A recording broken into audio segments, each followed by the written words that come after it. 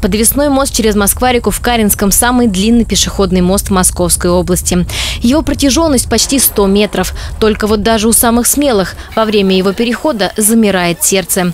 Сетка с двух сторон исчезла, гвозди прыгают от любого шороха, доски выскакивают, а в некоторых местах их нет вовсе. Активисты молодежного парламента приехали на место с инспекцией. Жень, ну вот расскажи, как ты считаешь, в таком состоянии мост должен находиться или нет? Я считаю, что это ужасное состояние, потому что даже я боюсь по нему идти.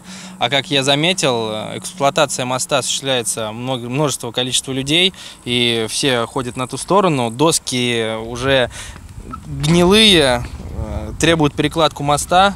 Э, в обязательном порядке укрепить вот эти вот, вот, вот эти вот все вещи, которые так вот болтаются переложить мост, ну и обязательно покрасить. Местные жители подчеркивают, если доски перекладывались несколько лет назад, то полноценного ремонта вообще не было.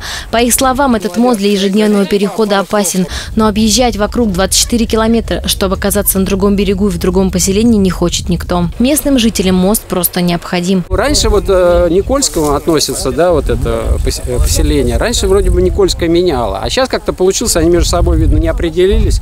И ни Ершова, ни Никольская, никто не меняет. Доски, ну это безобразие. Я говорю, я вот в школу 63 -го года по этому мосту хожу, и кроме только благодарности никогда не было. Люди всегда... Потому что единственная соединительная артерия до Звенигорода вот этот мост. После рабочей поездки члены молодежного парламента собираются написать письмо главе района с просьбой о помощи. Мост в Каринском – настоящая достопримечательность. Он не раз мелькал в известных русских фильмах «Дети понедельника», «Петербургские тайны».